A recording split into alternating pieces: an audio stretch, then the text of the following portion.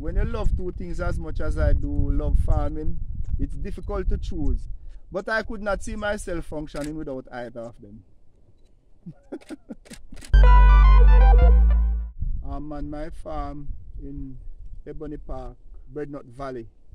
It is part of an agro park which is located in the area, the Ebony Park Agro Park. Who is Dr. Watson? Well, Dr. Watson, I like to say, is a country boy born in West Kingston in 1966. Grew up in the hills of Clarendon. My family settled in a district named Orange River. I'm married to a country girl from Mount Moriah and St. Ann's. We have two kids. I went to Clarendon College. I'm a member of the class of 83, a very cordial group and a very productive group, a very patriotic group. I love sports. I love cricket. I still play my, my cricket. I play a lot of masters cricket around. I'm as much known as a doctor as, as known as a cricketer. I played Headley Cup for five years. You won? Any? We never won. I thought one year we would have won Headley Cup, you know, but we were kicked out of the competition for no for no good reason. And I'm sure that year we would have beaten STETHS, our long time rival. I played schoolboy cricket for five years, and the only schoolboy team that ever beat us, including teams from the urban area, was St. Elizabeth Technical High School. And those guys were still very good friends. With our rivalry in Masters cricket lives on. I went to um, I went to the national youth trials in 1985. I wasn't successful in making the national team at the time, and I, and that might have caused me to um, Yeah, to decide to go and study because I realized then that you could not play sports and be successful playing sports in Jamaica as an un- unemployed person because our sports cricket at least is not, wasn't a professional game at the time. You could not make a living from playing the game. So you would look, seek other options. So I went away I studied uh, uh, medicine in Cuba um, man came back resumed playing cricket and if it wasn't for an injury then I thought I would have made the national team I'm a very outdoors person so it was only natural for me to have a significant outdoor activity. And what better outdoor activity to have other than farming? In farming, other than just enjoying being in the outdoors, it is a source of income. So it serves two purposes. Firstly, I got the land to lease from the Agro Invest Corporation, which is a government agency. I've been farming in Ebony Park for upwards of eight years, although I used to farm in other areas before. We get the land to lease and we are supplied with irrigation water through the National Irrigation Commission because going into farming without water makes no sense. You have to you have to have irrigation water.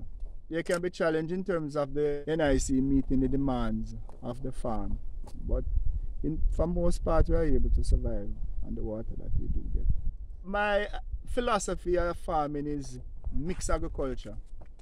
So I mix perennial crops, tree crops like avocado, coconut, ackee with catch crops like mainly hot pepper, West Indian red hot pepper and scallion. I also do cassava and I will plant any crop I have a market for because for most most crops it's just about learning the correct husbandry and doing what needs to be done. Okay, you said as long as you have a market, but you do your practice. So when do you get time to look market? Because I think your doctor think take up most of your time, right? I'm a member of the Ebony Park Agro Cooperative 2016 Limited. We do most of our marketing through Ebony Park Agro Cooperative as a group. It makes it easier because then we can package our stuff and deliver them as a group and that make a more efficient use of time because as you rightly said I would not have the time to to do all the, the deliveries.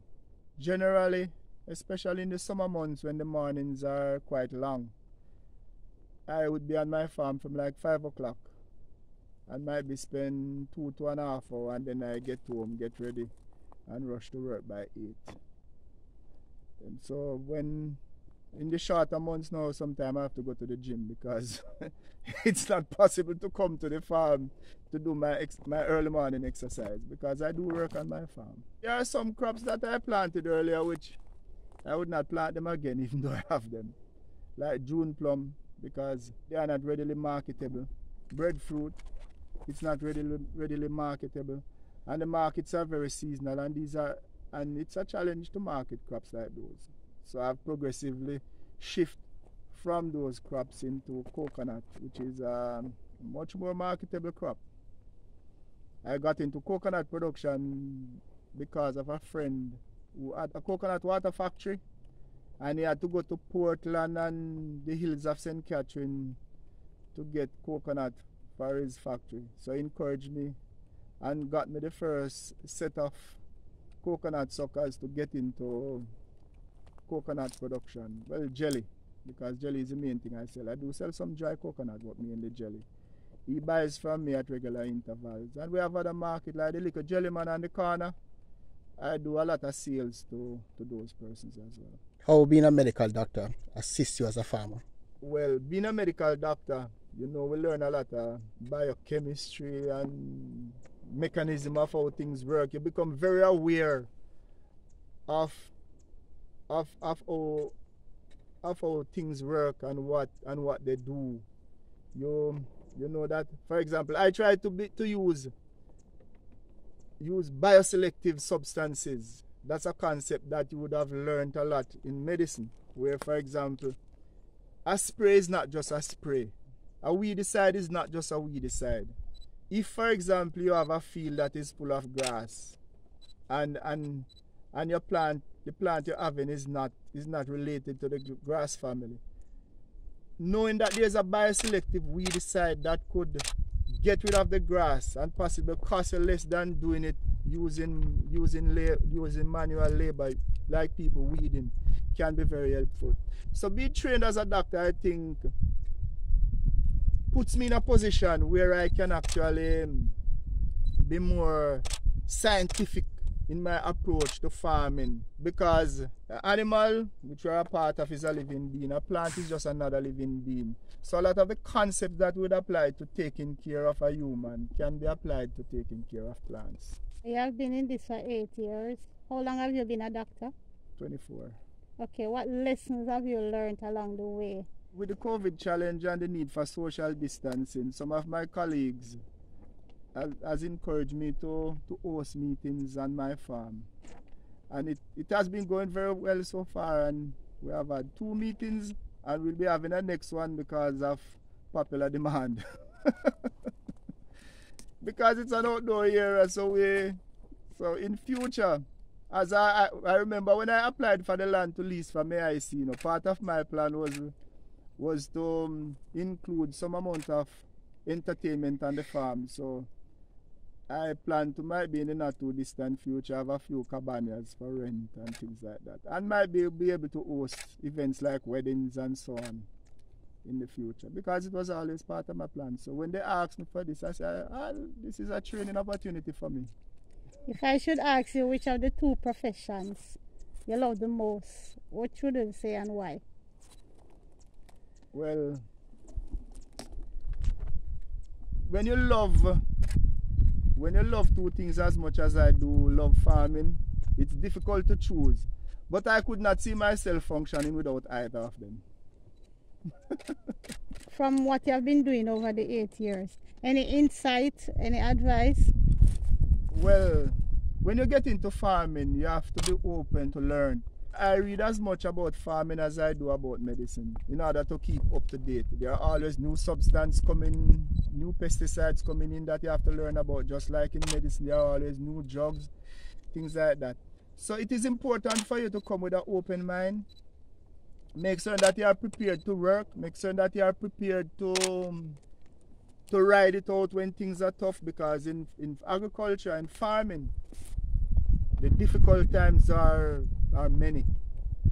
Whenever you hear of a trough or a tropical depression or a hurricane coming, you know that that is a challenge. That's a challenging time because quite often after those natural events, even more so than a drought, you it's like you have to start over again. And you could have a have a field and you're counting the profits from that potential profits from that field. And with, with within 24 hours of a good shower, you would have lost.